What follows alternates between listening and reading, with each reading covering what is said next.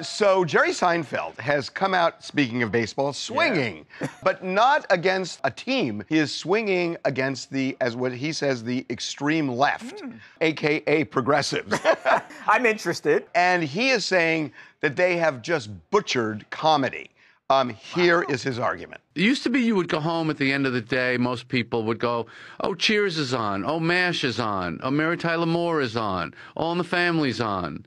You just expected there'll be some funny stuff we can watch on TV tonight. Well, guess what?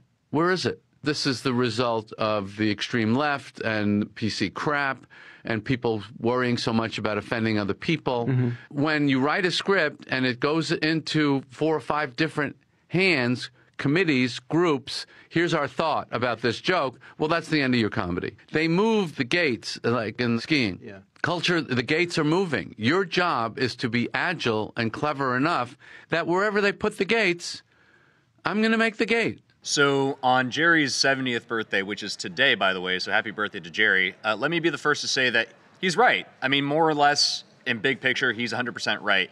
Uh, there is really no good TV comedy these days. You see a lot of drama, you see Succession, you see HBO cranking out a ton of stuff, Netflix cranking out a ton of stuff, but when it comes to just original sitcoms or original comedy shows, far and few between. And I think what he's saying is the reason for that is because of these committees, these Yeah. you know, the decision makers in Hollywood that basically look at comedy, which I think is one of the more like polarizing uh, genres, if you will, because it, it can offend so many different people, especially with your sentiments and modern day uh, sensibilities, etc. And more or less, I think he's correct because in the 90s, in his heyday, you could say some things, you could make some jokes, and people would laugh. And even if it was a little edgy, it would still fly. In this day and age, it sounds like he's kind of railing against that. Uh, and it's interesting because we've seen a lot of comics, especially from like his time, also kind of come out and take the same position. And now here's Jerry, one of the biggest voices in comedy, saying the same thing.